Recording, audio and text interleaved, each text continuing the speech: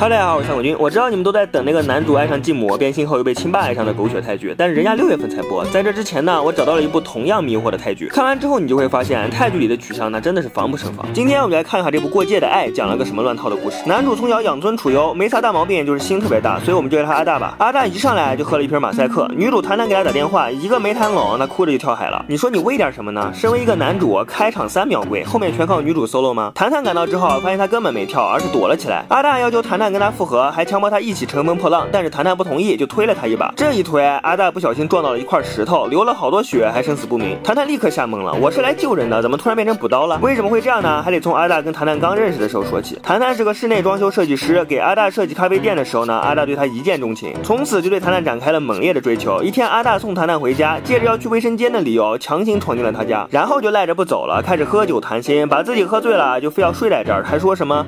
เขาแค่อยากกอดทานเฉย谈谈倒是也不讨厌他，再加上阿大这个狗皮膏药一样的追法，没过几天他们就谈了。交往之后，阿大是开心了，但是谈谈总是在想，爱他还是不爱他，这是个问题。阿大给谈谈介绍自己的家人，谈谈看见阿大他妈的照片，有点惊讶，嚯，你妈挺美呀，你怎么一点都没遗传到呢？阿大告诉他，我妈之前是选美小姐，辞职以后专心顾家。你要是见了我妈，那一定会喜欢她。阿大在交往一周年的时候，准备领着她见家长，谈谈呢有点焦虑，他担心进展太快，但是阿大嘛心特别大，没想那么多就带她回家了。阿大这个家庭背景有点复杂，他爸呢相信他有动机，今天搞。秘书，明天搞家政，但凡长了一张脸的，他爸都想搞一搞。所以他妈现在只剩下一肚子怨气，还没见过谈谈，就已经对他充满了敌意。可谈谈哪知道呀？他先去见了阿大他爸，未来的公公对这个儿媳妇很满意，甚至有点过于满意了，上上下下的打量他，谈谈都给看毛了，说着要找洗手间就赶紧溜了。接下来他在厨房里面又碰到了男主他妈，一时间惊为天人。在谈谈眼里啊，未来的婆婆简直自带圣光滤镜，但我没有滤镜，我就一个问题，为啥她的家也穿的这么隆重啊？谈谈终于见到女神，兴奋的打招呼，没想到准婆婆刚开口就是刺儿。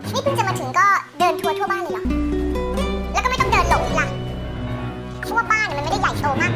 吃饭的时候，谈谈尴尬极了。公公对她动手动脚，婆婆对她怒目而视。阿大美滋滋的，觉得一家四口相谈甚欢。谈谈想缓和气氛，主动夸婆婆做饭好吃，婆婆就说：“哎呀，那是，可不是像某些人饭都不会做。”阿大赶紧解释，谈谈从小父母双亡，寄宿在亲戚家里，现在自己独立生活已经很不容易了。但婆婆还是不依不饶，继续质问她：“那你现在工资多少呀？能不能养活自己呀？年纪轻轻的，知不知道要上进呀？”谈谈听不下去了，想要冷静一下，婆婆还要跟过去继续教训她，说什么：“我调查过你，你根本配不上我儿子，啊不如早点滚蛋。”回去之后，后谈谈很生气，他向阿大抱怨：“我。”就不该去见你家长。阿大摸摸自己并不存在的小脑瓜，不明白为啥呀？怎么了？我爸多喜欢你啊！你不满意哪呀？谈谈惊了，你认真的吗？你爸那是有点太喜欢我了。你再看看你妈啥态度？阿大就哄他，哎呦，我妈就那样，你想多了吧？别太小心眼了啊，乖。接下来，谈谈虽然一直跟阿大说，你妈真不喜欢我，强扭的瓜不甜，要不算了吧。但是阿大不以为意，还强行带着他去参加自己的家庭旅行。四个人别别扭扭的去了海边。阿大和他爸心花怒放，女主和婆婆一个比一个生气。后来谈谈回去换衣服的时候，刚好遇到了正在做饭的婆婆，婆婆一不小心把手给。签了，谈谈特别着急，赶紧去给她包扎。婆婆看见谈谈对自己这么好，立刻有点内疚，觉得自己之前说的话简直不是人话。两个人的关系啊，总算是有所缓和。晚上，阿大和他爸去看球，谈谈救下了突然呼吸衰竭的婆婆。她看着哭得梨花带雨的婆婆啊，觉得竟然有点小鹿乱撞。谈谈三番两次的帮忙，也让婆婆觉得自己之前的确无理取闹。她就跟谈谈唠起了人生，一不小心就唠深刻了。两个人展开了灵魂拷问。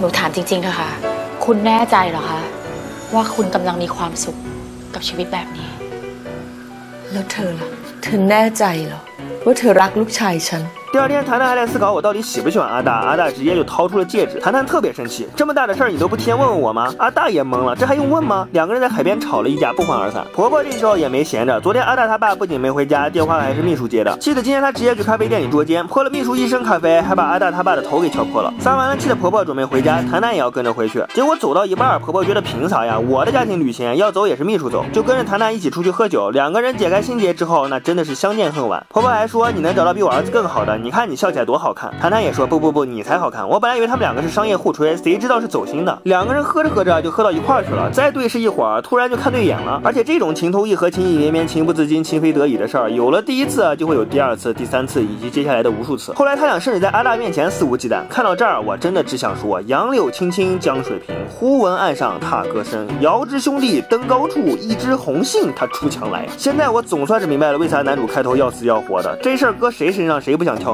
他就算。猜到了女朋友出轨，他上哪猜女朋友跟亲妈出轨啊？而且这种剧情还不是编剧一拍脑子想出来的，这是由真实事件改编的。就算花花世界无奇不有，这个剧也真的是开了家庭伦理婆媳剧的先河。以后要是不这么拍，那还好意思叫伦理剧吗？